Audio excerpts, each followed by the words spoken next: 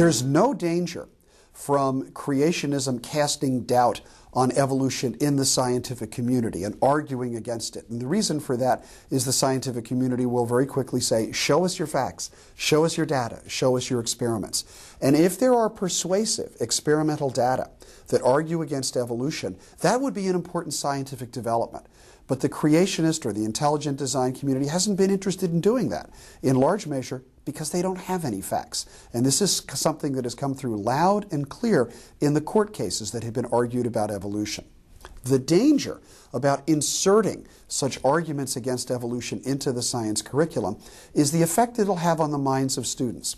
It will tell students basically that they can't trust the scientific process, that scientists somehow suppress information, that they keep dissent away, and that they are not really interested in the truth. It will also tend to place students in a situation where they're presented with a false dichotomy, with a choice between an evolutionary theory which is hostile to their religious beliefs or an anti scientific theory like creationism that is friendly to their religious beliefs. And that places every student in every classroom in the position of choosing between God and science. And that would be a terrible thing.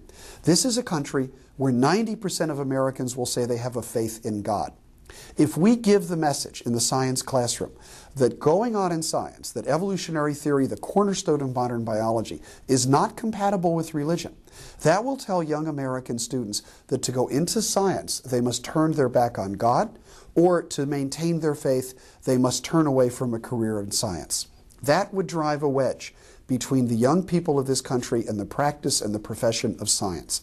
We are engaged in a global competition with other emerging countries around the world. And these countries, I'll take China, South Korea, Singapore, India, and Japan as my model, these countries understand very clearly that science is the future. Their educational systems embrace science, and their young people in their training embrace science. If we breed a generation of Americans who turns away from science for any of these reasons, we are courting the road to national disaster in terms of scientific leadership. It would be a great tragedy for science and a great tragedy for this country if we did.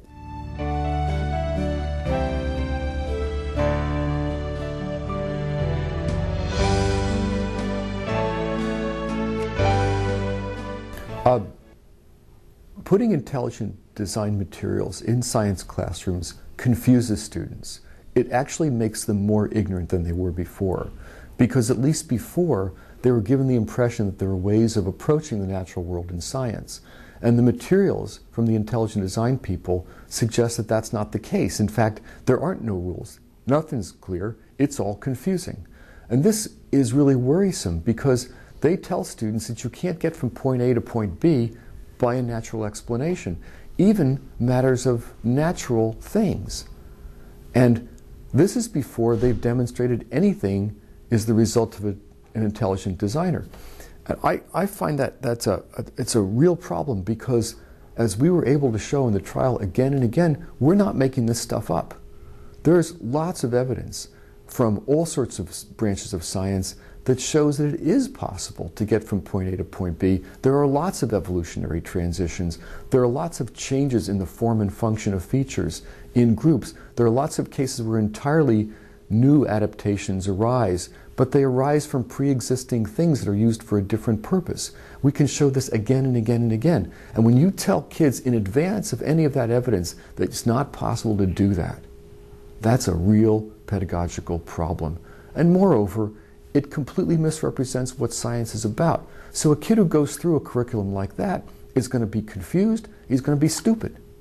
Now, why should you teach somebody something in schools that makes them more stupid than they were before?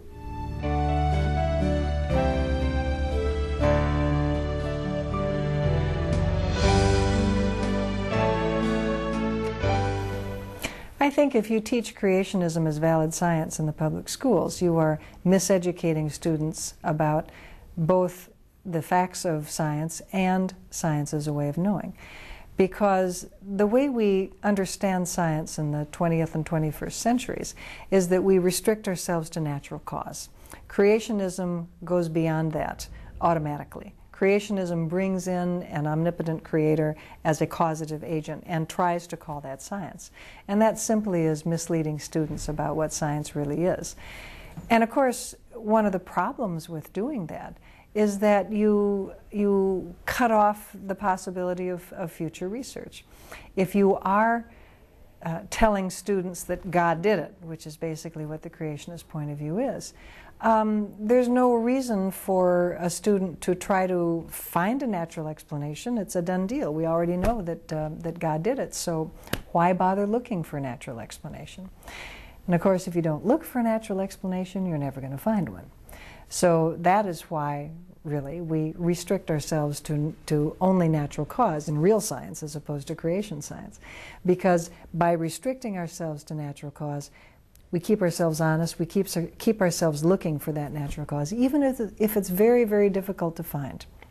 And sometimes it is very difficult to find a natural explanation for something.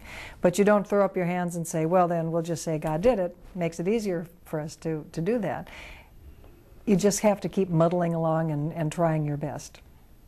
And maybe sometime in the future, maybe sometime in the future, you'll develop new instrumentation or new theory to allow you to go back to that problem and actually explain it through natural cause.